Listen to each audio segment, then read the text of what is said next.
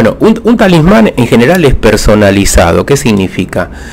Que el brujo lo elabora para una determinada persona en una determinada situación.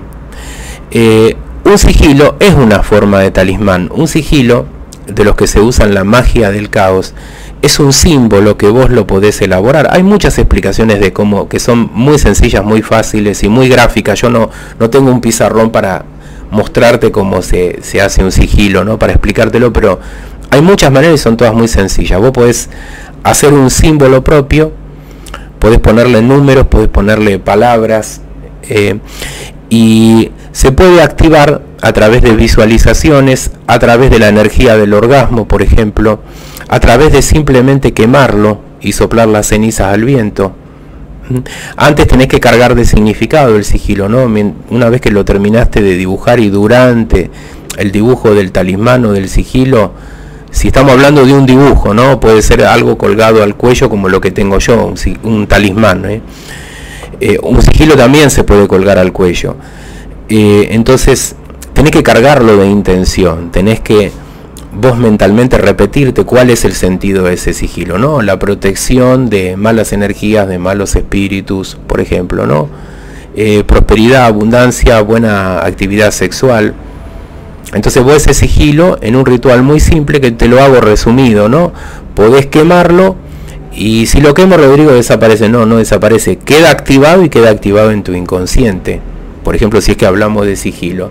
Si hablamos de talismán, el talismán vos lo podés usar, ¿eh? como, lo, como lo uso yo. Entonces vos probablemente lo cargaste de, de intención, ¿eh?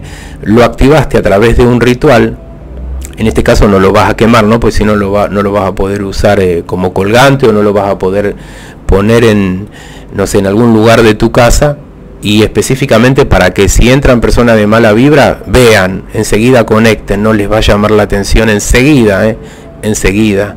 Eh, vos pones un amuleto como un ojo turco en un lugar y la persona envidiosa enseguida le va a llamar la atención. Probablemente te diga algo. No significa que todos los que te digan algo son envidiosos, ¿no? Pero les va a llamar la atención si vos pones un ojo turco, ¿no? Si vos pones muchas eh, cintas rojas.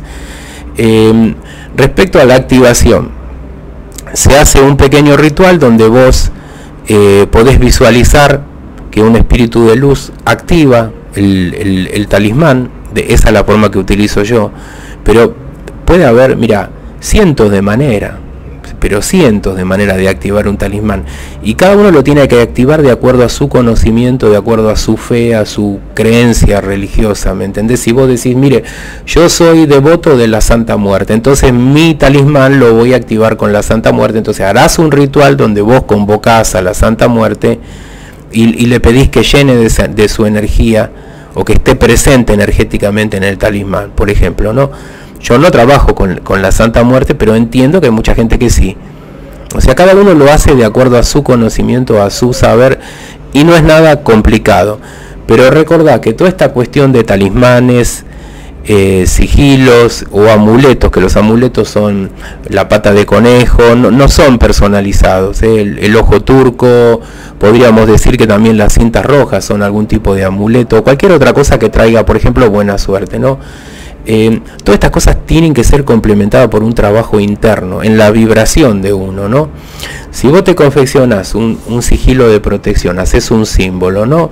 El que sea o lo tomás de internet, entonces vos lo cargas de sentido, lo que más, lo activás, supongamos que decís, mire, me siento mucho mejor en estos días, muy bien, pero lo interior hay que trabajar también. O sea, de verdad, si hay chakras bloqueados, desbloquearlos. Si uno puede vibrar más alto, vibrar más alto. Si uno puede gestionar los problemas que le están pasando a uno de mejor manera, bueno, hay que hacerlo. O sea, es una de varias cosas que hay que hacer para transformar la vida de uno, ¿no?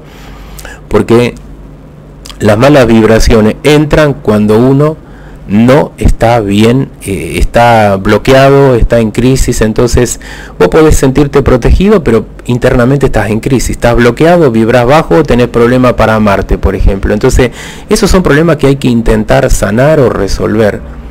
Y, eso no lo va a poder resolver, te lo digo por experiencia, ¿eh? la activación de un talismán, un amuleto, ni un sigilo. Eso es un trabajo interno, mental, psicológico, ¿no? Si vos te ves al espejo y decís, me siento feo, no me amo, no me respeto, entonces caigo en todo tipo de actitudes indignas, bueno, ese es el caldo de cultivo para que entren las malas energías. Entonces, vos te proteges, pero hay que pensar en trabajar lo interior. ¿Me entendés? Para realmente uno estar bien, no simplemente me retiraron la brujería, hice, hice con toda la fe, no sé, el sigilo, el talismán, pero sigo siendo la misma persona que no se ama. Entonces ahí estamos en un problema. Por eso yo intento hacer entender de trabajar todos los niveles. No, no sé si se, se, se entiende ¿no? esto que te, que te estoy diciendo.